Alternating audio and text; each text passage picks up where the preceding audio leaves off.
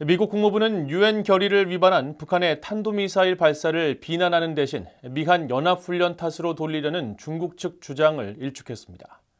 미국 국무부 대북 고위 관리는 무기 관련 활동 수위를 높이는 최근 북한의 움직임에 우려한다고 VOA와의 인터뷰에서 밝혔습니다. 함지아 기자가 보도합니다. 미국 국무부는 중국 외교부 대변인이 북한의 지난 18일 단거리 탄도미사일 발사를 규탄하는 대신 미한 연합훈련 탓으로 돌리려는 듯한 발언을 한 것과 관련한 BOE의 논평 요청을 받고 북한의 문제점을 지적하는 분명한 입장을 밝혔습니다. 국무부 대변인은 지금까지 북한은 대화에 관심이 있다는 징후를 보이지 않고 그 대신 도발의 범위와 규모가 눈에 띄게 증가했다고 지적했습니다. 또 이 같은 북한의 도발은 영내 긴장을 고조시키고 우발적 충돌이나 의도치 않은 확전의 위험을 증가시키는 데 일조했을 뿐이라고 강조했습니다. 국무부 대변인은 그러면서 우리의 목표는 여전히 한반도의 완전한 비핵화며 이 목표를 향해 노력하는 동안 한반도에서 우발적 군사 충돌 위험 감소 등 북한과 하고자 하는 많은 가치 있는 논의가 있다고 밝혔습니다. 앞서 린젠 중국 외교부 신임 대변인은 18일 정례 브리핑에서 이날 오전 북한이 동해상으로 탄도미사일을 발사한 것과 관련해 중국은 관련 보도에 주목하고 있다며 한국과 미국이 이전에 북한을 겨냥한 연합 군사훈련을 한 것도 주목했다고 말했습니다. 이어 중국은 한반도의 평화와 안정을 지키는 것이 각 당사국의 공동이익에 부합한다고 강조했습니다.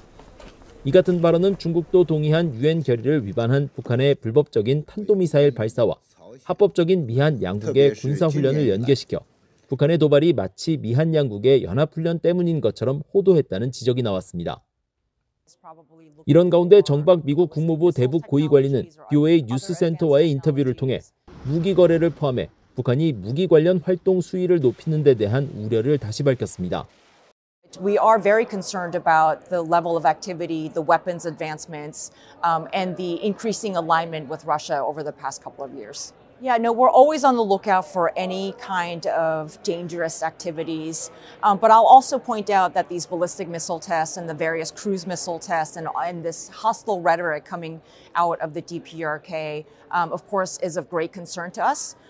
정박 고위 관리는 다만 북한이나 김정은이 임박한 공격 혹은 가까운 시일 내 공격을 고려하고 있지는 않은 것으로 평가하고 있다면서 아마도 김정은은 그것이 어떤 대응을 불러올지 알고 있기 때문일 것이라고 지적했습니다.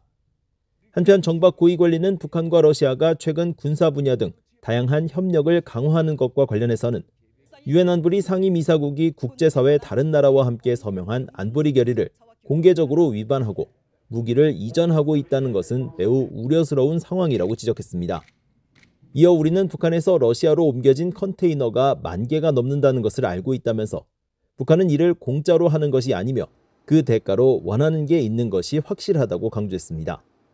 또 우리는 러시아가 전장에서 이러한 북한제 무기와 탄도미사일을 사용해 북한이 무엇을 배울 수 있는지 또 북한의 무기 프로그램을 더욱 대담하게 만들거나 더 발전시키는데 어떤 도움을 줄지에 대해서도 우려하고 있다면서 지금은 정말로 위험한 시기라고 밝혔습니다.